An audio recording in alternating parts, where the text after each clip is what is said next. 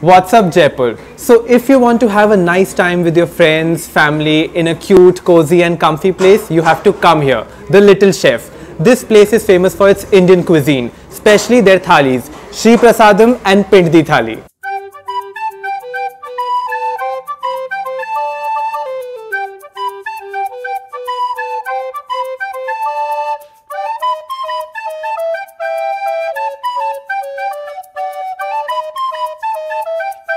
So we are going to order spinach and corn sandwich and let's see how it is.